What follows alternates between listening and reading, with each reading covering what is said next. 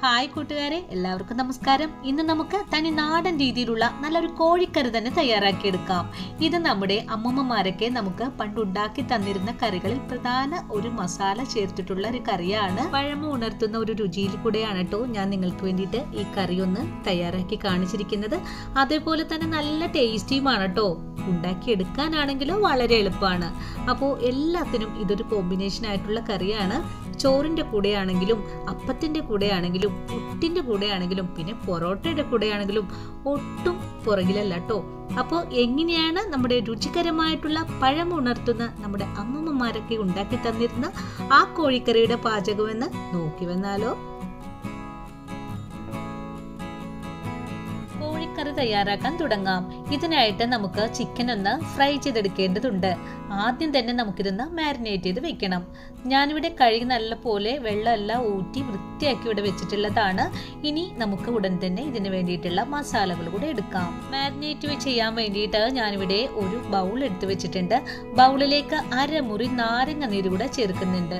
കൂടെ തന്നെ ചിക്കൻ ആവശ്യമായ ഉപ്പ് കൂടെ ചേർക്കുവാണേ. ഉപ്പ് കൂടെ ചേർത്ത് കഴിഞ്ഞാൽ പിന്നെ നമുക്ക് ഗരം മസാല ചേർത്ത് കൊടുക്കാം. ഒരു സ്പൂൺ അളവിലാണ് കേട്ടോ എല്ലാം ചേർക്കുന്നത്.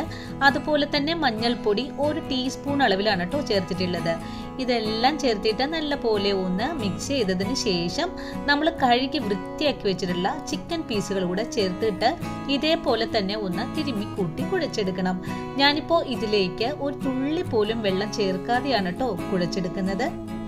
നമ്മൾ വെള്ളം ചേർക്കാതെ കുഴച്ചെടുക്കുമ്പോഴാണ് നമ്മുടെ ചിക്കനിലേക്ക് പൊടികളെല്ലാം പിടിച്ചു കിട്ടുന്നത്.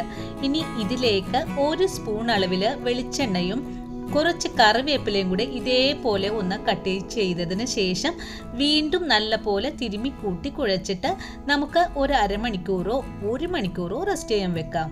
ഇനി കോഴിക്കറിയുടെ ഗ്രേവി റെഡിയാക്കാൻ വേണ്ടിയിട്ട് ഞാനിവിടെ ഒരു ആറ് സവാള ഇതേപോലെ ഒന്ന് കഴുകി വൃത്തിയാക്കി കട്ട് ചെയ്തൊക്കെ വെച്ചിട്ടുണ്ട്. കൂടെ തന്നെ ഒരു മുറി തേങ്ങയും എടുത്തു വെച്ചിട്ടുണ്ട്. ഒരു കഷ്ണം ഇഞ്ചിയും മൂന്ന് ബോൾ വെളുത്തുള്ളിയും കൂടി എടുത്തിട്ടുണ്ട്. സവാള ഒന്ന് നൈസായിട്ട് കട്ട് ചെയ്തെടുക്കണം. അതുപോലെ ഇഞ്ചിയും വെളുത്തുള്ളിയും ഒന്ന് ചതച്ചെടുക്കണം. തേങ്ങ നമുക്കൊന്ന് തിരുമ്മിയും കൂടെ വെക്കണം. അപ്പോൾ ഇതെല്ലാം നമുക്ക് റെഡിയാക്കിയിട്ട് വരാം. ഇനി കോഴിക്കറി തയ്യാറാക്കാൻ തുടങ്ങാം. ഇതിനായിട്ട് ഒരു പാൻ ഒന്ന് അടുപ്പിലേക്ക് വെച്ച് കൊടുത്തിട്ടുണ്ട്. പാൻ ഒന്ന് ചൂടായി വന്നപ്പോൾ ഞാൻ കുറച്ച് വെളിച്ചെണ്ണ ഒഴിച്ചു കൊടുക്കുവാണ് കേട്ടോ വെളിച്ചെണ്ണ ചൂടായി കഴിഞ്ഞപ്പോൾ നമ്മൾ ചിക്കൻ പീസുകൾ ഒന്ന് അരമണിക്കൂറൊക്കെ കഴിഞ്ഞിട്ടുണ്ട്. ഞാനിപ്പോൾ അരമണിക്കൂറാണ് കേട്ടോ വെച്ചു കൊടുത്തിട്ടുള്ളത്. അപ്പോൾ നമ്മുടെ ചിക്കൻ പീസുകളെല്ലാം ഞാൻ എണ്ണയിലേക്കൊന്ന് ഇട്ട് കൊടുക്കുവാണ്. ഇപ്പോൾ എല്ലാ പീസും ഞാൻ ഇതിലേക്കൊന്ന് ഇട്ട് കൊടുത്തിട്ടുണ്ട്. ഇനി നമ്മൾ ചെയ്യേണ്ടത് നമുക്കിതൊന്ന് ഫുൾ ഫ്ലെയിം വെച്ച് കൊടുത്തിട്ടാണ് നമ്മൾ ചിക്കൻ പീസുകൾ അടുപ്പിലേക്ക് വെച്ചിട്ടുള്ളത്. ഇനി ഒന്ന് ചൂടായി വരുമ്പോഴേക്കും നമുക്ക് മൂടി വെച്ച് കൊടുത്തിട്ട് ഒന്ന് സിമ്മിലേക്കൊന്ന് വെച്ച് കൊടുക്കാം. സിമ്മിലേക്ക് വെച്ചു കൊടുക്കുമ്പോൾ ഇതിൽ ധാരാളം വെള്ളമെല്ലാം വന്നു തുടങ്ങും. ഈ ഒരു വെള്ളം ഇനി തുറന്നു വെച്ച് വറ്റിച്ചിട്ട് ചിക്കൻ ഫ്രൈ ചെയ്തെടുക്കുമ്പോഴാണ് നല്ല ടേസ്റ്റൊക്കെ നമുക്ക് കിട്ടുന്നത് കേട്ടോ ഇനി ചിക്കൻ പീസുകൾ ഒരു വശം ഒന്ന് ആയി വന്നാൽ പിന്നെ നമുക്ക് ഒന്ന് മറിച്ചിട്ട് കൊടുത്തിട്ട് ഒന്ന് ഫ്രൈ ചെയ്തെടുക്കണം. ഇനി എല്ലാ പീസുകളും ഇതേപോലെ ഒന്ന് ഫ്രൈ ചെയ്യാൻ ഇട്ട് കൊടുക്കുവാണ്.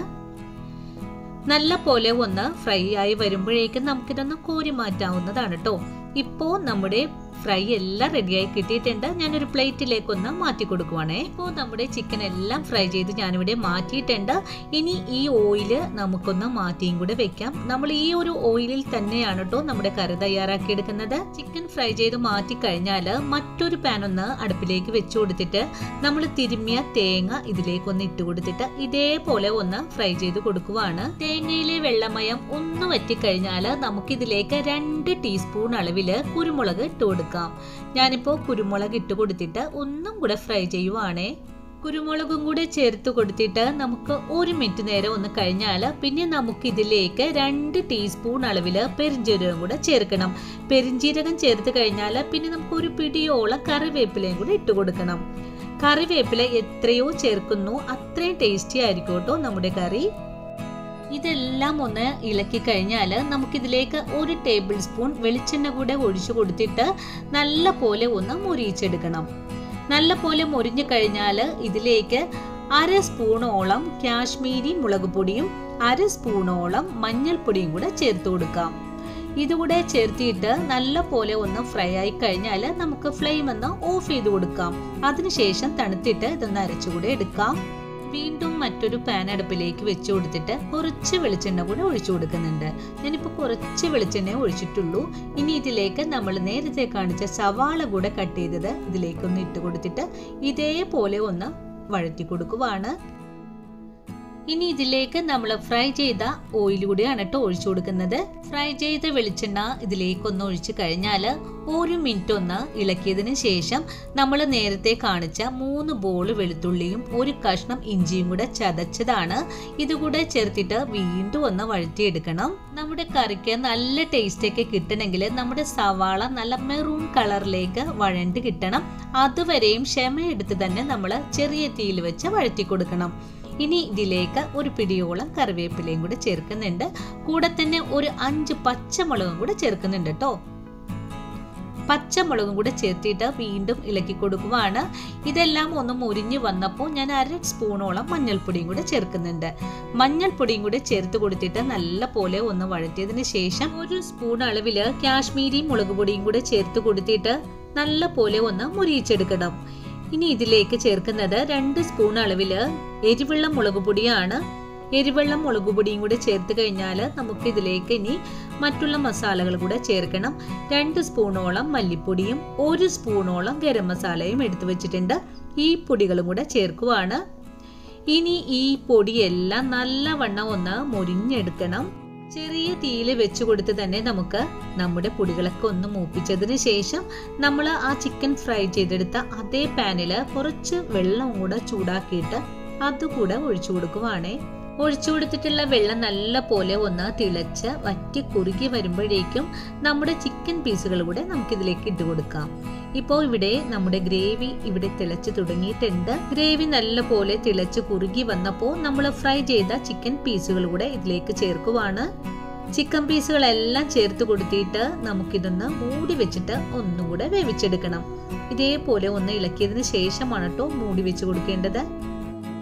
ചിക്കൻ പീസുകൾ കറിയിലേക്ക് ഇട്ട് കഴിഞ്ഞാൽ പിന്നെ ചെറിയ തീയിൽ വെച്ചിട്ടാണ് കേട്ടോ നമുക്കിത് വേവിച്ചെടുക്കേണ്ടത്. നമ്മൾ ഇതുവരെയും കറിയിലേക്ക് ഉപ്പൊന്നും ചേർത്തിട്ടുണ്ടായിരുന്നില്ല. ഇനി നമുക്ക് കറിക്ക് ഉപ്പുണ്ടോ എന്ന് നോക്കിയിട്ട് ആവശ്യമായ ഉപ്പ് കൂടെ ചേർക്കാം. ഞാനിപ്പോൾ ഒരു സ്പൂൺ അളവിൽ ഉപ്പും കൂടെ ചേർക്കുവാണ്. ഉപ്പും കൂടി ചേർത്ത് കൊടുത്തിട്ട് വീണ്ടും ഇതേപോലെ ഒന്ന് ഇളക്കി കൊടുക്കുന്നുണ്ട്. ഇളക്കി കൊടുത്തതിന് ശേഷം വീണ്ടും ഒന്ന് മൂടി വെച്ച് കൊടുക്കുവാണ്. ഇനി മൂടി ഒന്ന് തുറന്ന് നോക്കുമ്പോൾ കറിയെല്ലാം നല്ലപോലെ വറ്റിയൊക്കെ വന്നിട്ടുണ്ട്. അതിലേക്ക് കുറച്ച് കറിവേപ്പിലയും കൂടി ഇട്ട് കൊടുത്തിട്ട് ഒന്നുകൂടെ മൂടി വെക്കുവാണ് കേട്ടോ. അപ്പോഴെല്ലാം നമ്മുടെ സിമ്മിലാണ് കേട്ടോ ഫ്ലെയിം ഇരിക്കുന്നത്. ഒന്നുകൂടെ ഇളക്കി കൊടുത്തു കഴിഞ്ഞാൽ പിന്നെ നമുക്ക് നമ്മൾ നേരത്തെ ഫ്രൈ ചെയ്ത് വെച്ചിട്ടുള്ള തേങ്ങ തണുത്തപ്പോൾ ഞാനൊന്ന് അരച്ച് വെച്ചിട്ടുണ്ടായിരുന്നു. അതുകൂടി നമ്മുടെ കറിയിലേക്ക് ചേർക്കുവാണ് കേട്ടോ.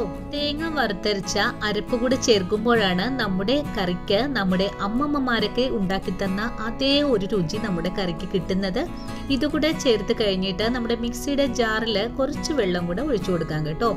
വെള്ളം എല്ലാം ഒഴിച്ചു കൊടുത്തിട്ട് നല്ല വണ്ണം തന്നെ തിളച്ച് തുടങ്ങിയിട്ടുണ്ട്.